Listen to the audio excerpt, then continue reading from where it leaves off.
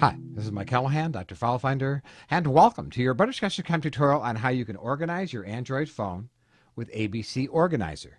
Now, I'm in the Android market, and in the Android market, you'll want to search for Folder Organizer.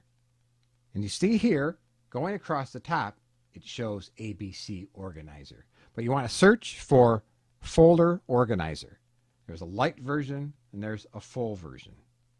Now, we'll go to the application, and in the application, you see across the top we have labels, apps, bookmarks, and contacts. Labels in this context is very similar to folders. If we tap on games, for example, it shows all of the games that are under or in the games label. So you can kind of think of labels as folders, just like you do in Gmail. If we tap on apps, it shows us all of the applications we have installed. Same, if we tap on bookmarks, shows us all of our bookmarks. And if we tap on contacts, it shows all of our contacts. We'll go back to the main label screen. Now, if you tap on the menu key, you see we get new label. You can change the sort order. You can reload. If you tap on preferences, there are a few things you can set. You can have the single click action. You can have it show a close button. You can have the program close after it's launched something. And you can also select the option to only have it show contacts that have phone numbers, which is nice and can narrow down your contacts list. Go back to the previous screen. So in this sense, we'll tap the menu button, tap New Label. Now we'll try to keep this simple since I have to do these with one hand. You can see I've named it Test and I can manually choose the items. I could make it be a dynamic label. In other words, I could have it be one that picked up all the bookmarks, all contacts, all of applications, only items with no labels, and so on. But for this, we'll just do a, a simple one. So we'll tap OK.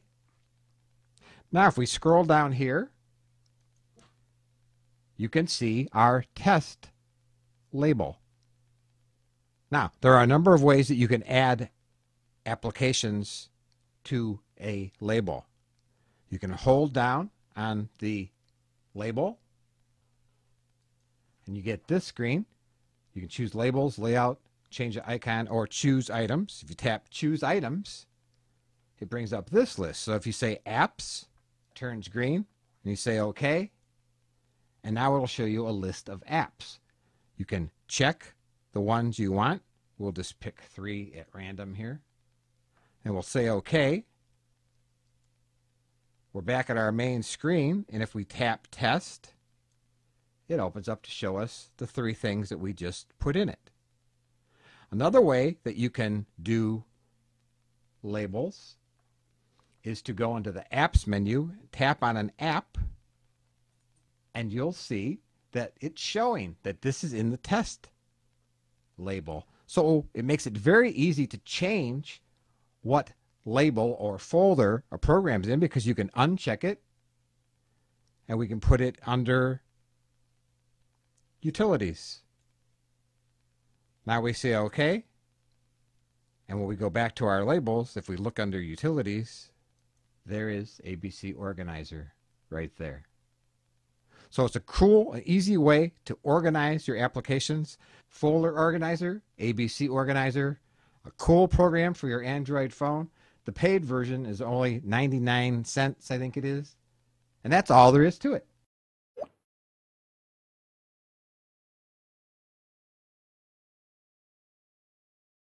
Hey, this is Doc. If you're looking for a cheap and easy way to put your own content on the web, go get domain names from hover.com. Just visit hover.com slash butterscotch and you'll get 10% off and support shows like these. Thanks.